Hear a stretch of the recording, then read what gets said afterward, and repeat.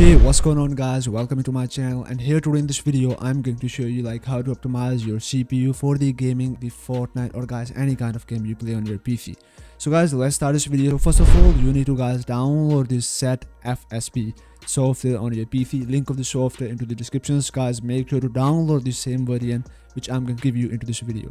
So after downloading this software or this program from a website so guys simply open this zip file and guys drag all of these files and drop it here on your desktop. Once you guys get all these files on your desktop so here is the guys exe file of the set fsb.exe so you need to simply double click here click yes and simply guys run this software on your pc this guys the interface of the software so now you need to guys carefully follow all of the settings on your PC. Therefore, you can guys get the maximum performance of your CPU uh, while you gaming on your PC. So here is guys some customization settings, some diagnosis, the creator, and here is the capture. So guys, do not need to change anything from other these tabs. Just simply go into this control tab and from the uh, clock generator you need to simply select out the first option which is the guys uh, you can check it out here. Now here is the ultra. You don't need to guys uh, check mark on this box. If this is checked so guys simply uncheck this box. Next here is option for the get fsb so you need to click here on this option and you will get guys here this option unlock.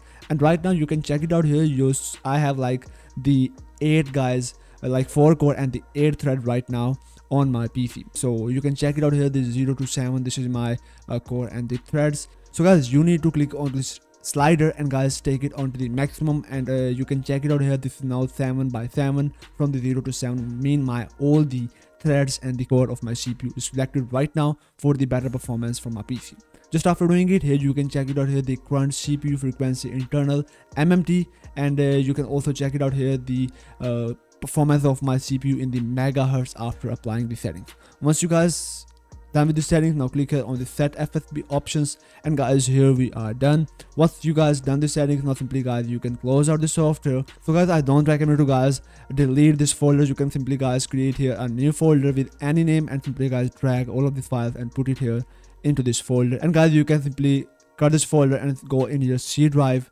and paste it here. So guys once you are done with this step so guys you are ready to guys roll in your game. So guys for getting the more interesting video like this so guys make sure to subscribe turn on the bell notification and smash a like on this video. So till at the next video peace out